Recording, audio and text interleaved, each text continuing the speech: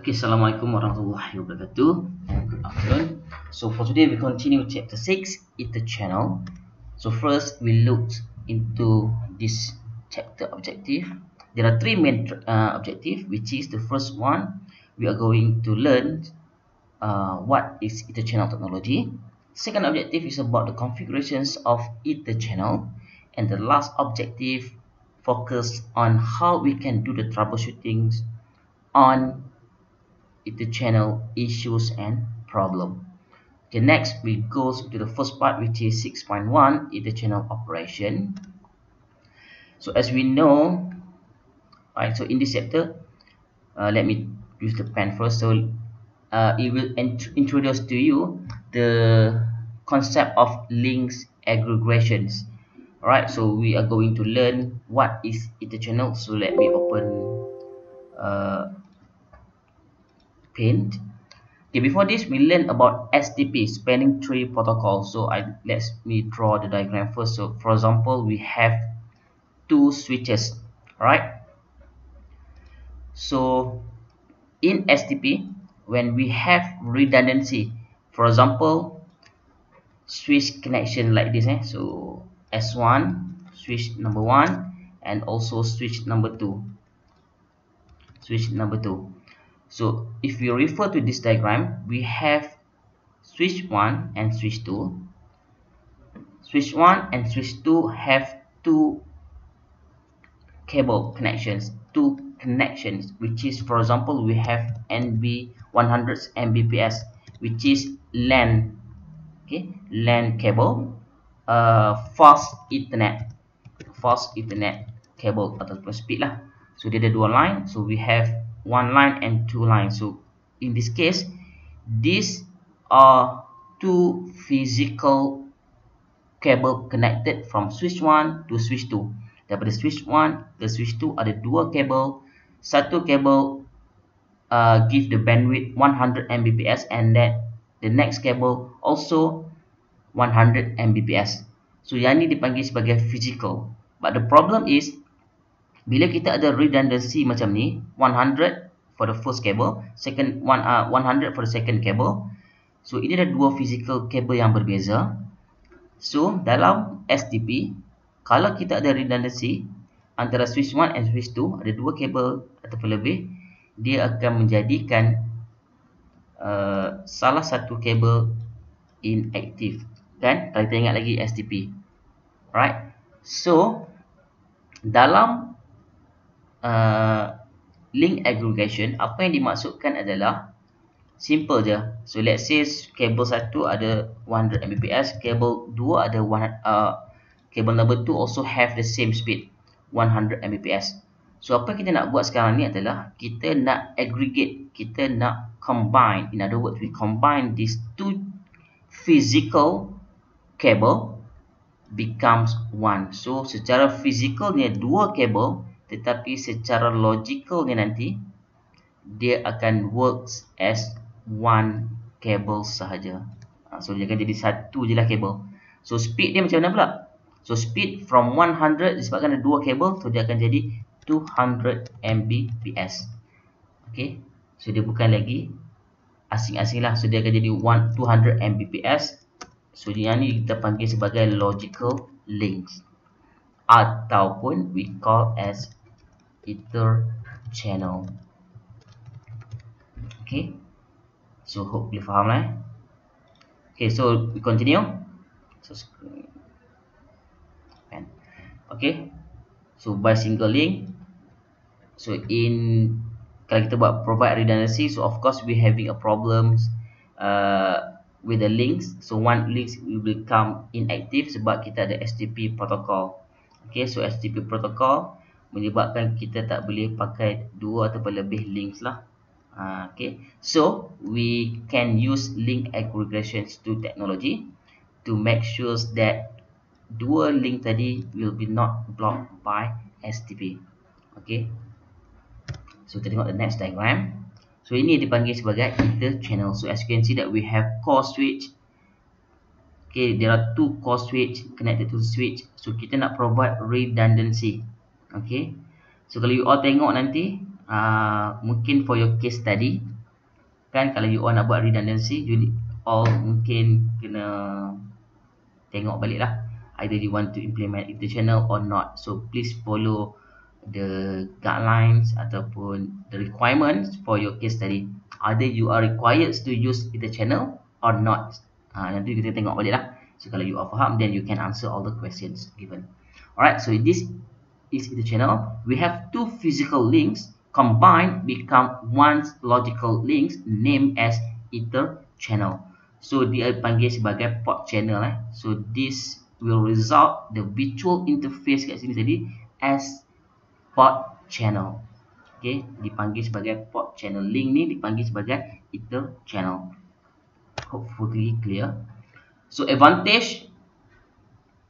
Okay, so yang this one you can read on your own. Has many advantage uh, of course increase the speed. Kalau sebelum ni kita ada issues dengan bandwidth limitations. So of course uh, kalau kita boleh combine for example empat link four links four physical links satu link 100 Mbps. So kita boleh combine empat menjadi 400 Mbps sebagai satu virtual link. So speed akan dapat 400 lah. Uh, so itu kelebihan the channel. So yang lain you all can read. Okay? Restriction. So we having a restriction if you want to implement uh, ether channel.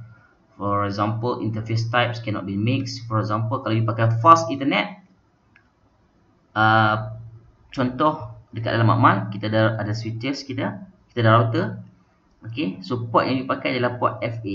So semua kena pakai FA lah on both sides. Contoh switch 1 and switch 2, you tak boleh pakai, you tak boleh mix switch 1 you pakai fast ethernet, switch 2 you pakai gigabit ethernet.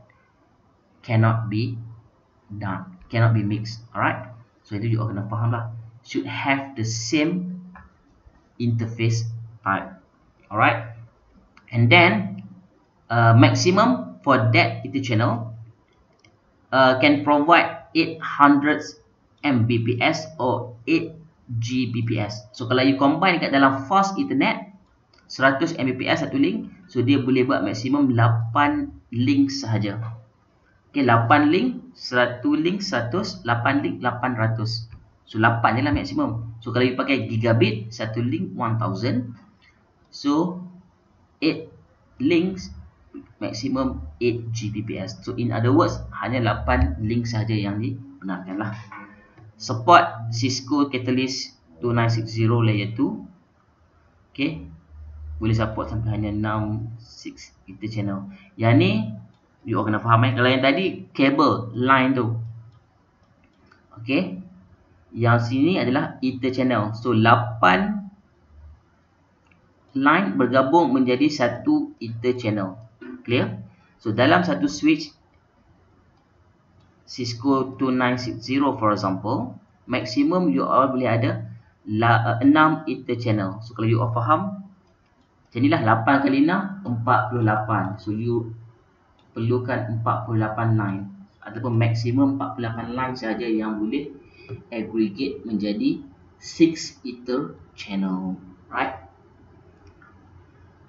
Okay if the physical parts of one side are configured as a trunk, the physical ports should be also configured as a trunk. So port hujung dengan hujung tu kena sama lah. Kalau you tengok kan. Dekat sini trunk. So dekat belakang ni pun akan jadi trunks lah. So the end side should have the same port types. Okay.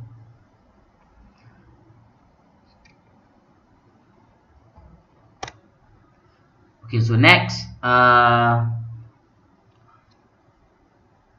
auto negotiation. So yang ni kita akan tengok nanti next eh. So ether channel can be formed through negotiation. So dia ada dua protokol kat sini sebab okay, switch dekat sini, switch 1 sambung dengan switch 2. Right? So macam mana kedua-dua port ni nak tahu dia orang akan buat ether channel. Okay, so dia perlukan uh, negotiate. So dia kena nego antara kedua-dua port lah. So negotiate dia akan menghantar uh, packets ni lah. So ada dua protokol to make sure that itu channels can be formed. Okay, so there are two protocol which is PAGP, Port Aggregations Protocol, and LACP, Links Aggregations Control Protocol. Okay, so this is the process eh. Macam mana dia nak negotiate antara kedua-dua switch tadi untuk dia form itu channel. So dia boleh pakai these two protocol. So either one, you nak pakai PAGP or you can use LACP. So Cisco support dua-dua protocol. No problem. Okay. Cuma nanti kita akan tengok what is the difference between these two. Okay, so PAGP, port aggregations. Cisco proprietary protocol. So means that hanya Cisco sahaja yang boleh buat connections ni. So kalau you pakai switch Cisco, satu Cisco, satu lagi switch Huawei. Okay, contoh lah eh. Tak boleh. Sebab ini adalah protocol Cisco proprietary. So means that all devices should uh, should use Cisco brand if you want to use PAGP. Okay. So kalau you nak pakai LAGP, uh, baru dia boleh melibatkan multi vendors. Okay, you pakai Cisco satu, you pakai Huawei. So boleh, tak ada masalah sebab yang tu dia dah uh, that protocols has been developed based on IEEE standard. Alright. Okay, so bila kita configure using PAGP, apa yang berlaku adalah proses negotiation tadi akan berlaku. So apa yang berlaku dia akan hantar PAGP packets. Alright. So PAGP packets will be sent between the interchannel ports to negotiate. Kalau dia orang dah negotiate, so barulah dia boleh bentuk forming a channel. Right. So then selepas dia dah bentuk interchannel, so this interchannel is then added to the spanning tree as a single port. So kalau kita tengok kat sini dia ada dua port eh. So kedua port tadi STP akan mengganggu lah. Okay, STP akan prevent. Tapi disebabkan bila negotiation ni berlaku, so dia dah form sebagai satu interchannel, satu links interchannel. So this link akan diupdate menjadi single port kepada spanning tree. Right? So dia dah tak dah tak, tak ada masalah dengan spanning uh, spanning tree lah.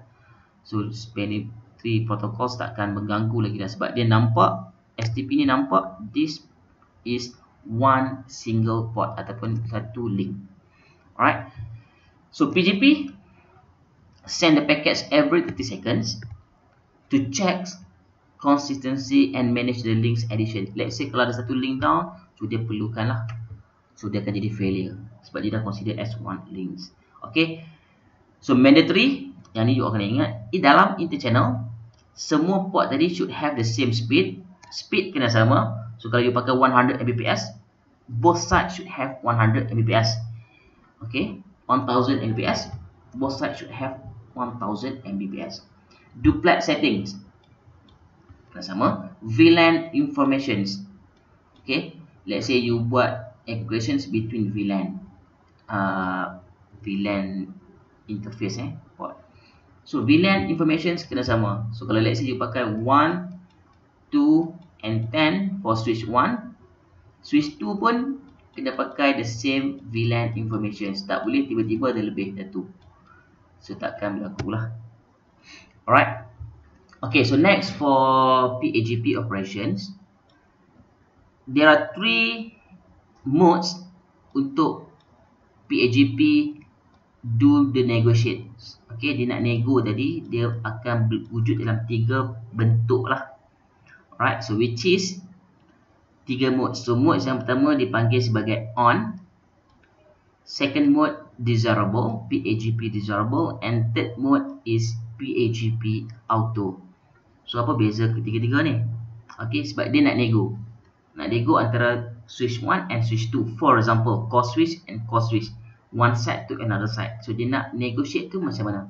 Okay. So let's say untuk on eh. So on kalau you kalau satu switch ada mode on, mode on yang berlaku adalah dia akan force the interface to channel without PAGP. Maksudnya dia akan form channel tanpa melibatkan exchange the PAGP packet. So kalau satu switch mode dia on, so dia tak akan response ataupun send information yang melibatkan PAGP. So maksudnya kat sini dia dia memang tak ambil part lah dalam proses negotiate.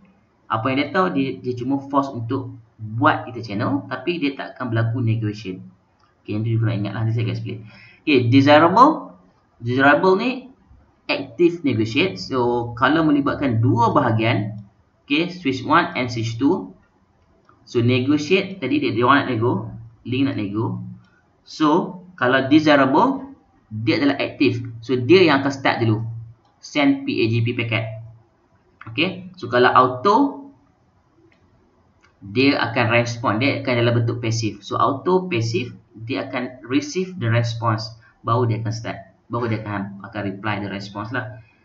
Desirable dia active. So dia yang akan initiate negotiate. So dia akan start process of initiate on on tak terlibat langsung dalam sending the PAGP packet uh, sending and receiving the PAGP packet so dia akan ignore. Tetapi dia diperlukan untuk buat lah So in other words, kalau you nak pakai on, so kalau satu router, satu switch tu on, so apa yang berlaku adalah dia satu lagi side also need to set to on. Okay, so yang ni lah the on mode manually. Kalau satu tu, yang the next tu, next switch akan dalam bentuk on. So kita tengok dalam bentuk diagram lagi mudah eh. Okay, nak negotiate, PAGP negotiates antara switch 1 and switch 2 untuk form ether channel. So yang tu juga faham. So process of negotiations. Okay, switch 1 and switch 2. So let's say switch 1 mode dia adalah on. On ni dia tak terlibat dalam proses pertukaran eh. Okay, mode on tak tu, tak melibatkan exchange PAGP informations. So apa yang berlaku kat sini? Kalau switch 2 on, okay. Sebab dia orang tak terlibat dalam proses exchange information but they are forced to form the ether channel so that's why channel establishment is yes okay switch 1 force switch 2 dalam mode auto ataupun desirable okay so kalau dia hantar maklumat PAGP pun exchange on ni takkan ambil port takkan involve in exchange so apa yang berlaku dia tak boleh nak establish So kawan ni akan blur, tak faham, tak tahu. Sebab yang S1 is, doesn't, doesn't reply anything. Okay, so dia takkan takkan establish the the, the, uh, the channel. Okay, kalau mode desirable, desirable active. Dia yang akan start dulu lah. So masing-masing active dengan active, okay, so dia orang boleh communicate. So channel establishment is yes. Desirable active, auto passive, so dia hantar kawan ni akan reply, so yes. Okey, auto dia uh, passive so dia akan tunggu. So desirable ni aktif so desirable akan hantar. Auto akan reply. So yes, boleh establish. But auto passive so kawan ni pun passive. So bila dua-dua passive, masing-masing tunggu siapa yang nak initiate negotiate. So tak ada orang yang bertanggungjawab untuk negotiate. So masing-masing tunggu and then the channel cannot be established. Alright. So hopefully you all understand. Okay, next LACP operation. Okay, so in other words, sama je LACP dengan PAGP jadi. Okay, cuma yang ni the links aggregations and of course LACP is and part of IEEE specification. So ni protocol number ya. So membenarkan physical port to be bundled to form a single logical channel. Sama juga, cuma beza antara LACP, dia support multi vendors. So kalau you nak pakai uh, different brand, Cisco dengan Huawei and so on, boleh, tak ada masalah. Sebab dia adalah standard. Dia gunakan protocol standard specifications under IEEE. Okay. So sama juga LCP provide the same negotiations benefit as APGP. So dia cuma dalam dalam bentuk mode dia berbeza lah. So masih lagi on same things. Cuma now we have LACP active and LACP passive. Alright, same things. So we look into the diagram. Switch 1 on force switch 2 force. Channel can be established. Switch 1 force dia tak terlibat dalam ni. So active and passive sebabkan kawan ni tak terlibat langsung dalam proses of exchange the information channel cannot be established. And then S1 let's say S1 is active S2 active so dia orang boleh start initiate so yes. Active passive of course yes. Passive active so active akan start negotiate. Yes. Passive passive. So both switch waitings for negotiate. So tak ada orang yang start initiate so dia tak akan channel dia tak akan buat lah. No for channel establishment. Okay. Okay so next for 6.2 configure the channel the configuration part. Right so there are few guidelines that can be used full for us to configure the channel right so itu channel support kita kena tengok lah interface yang digunakan mesti support okay? Speed and duplex make sure we have the same speed and the same duplex mode. VLAN match make sure both switch and routers uh, configure on the same VLAN assignment.